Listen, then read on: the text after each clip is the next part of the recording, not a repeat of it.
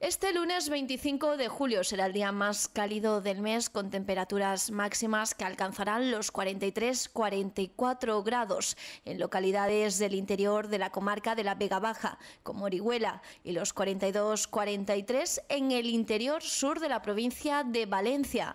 Así lo ha informado la Agencia Estatal de Meteorología.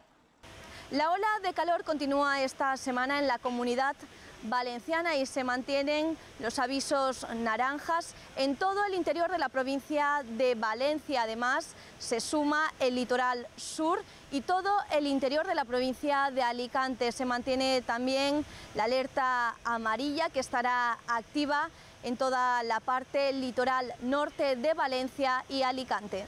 Pues muy mal porque hace mucha calor, menos mal que estamos en el campo y hace muy más, pero por la noche y todo es insoportable, insoportable, pero estamos en eso, en la calor.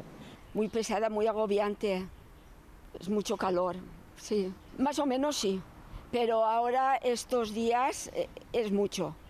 Normalmente suele durar del 15 al 15. ¿Cómo se está pasando?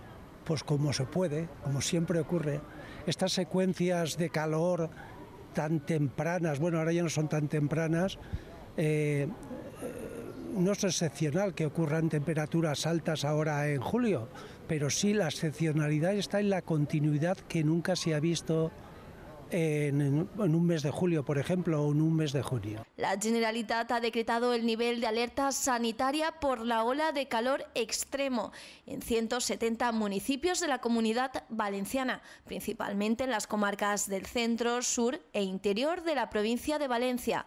La situación mejora notablemente de cara al martes, donde ya ninguna comarca de la comunidad se verá afectada por el nivel extremo.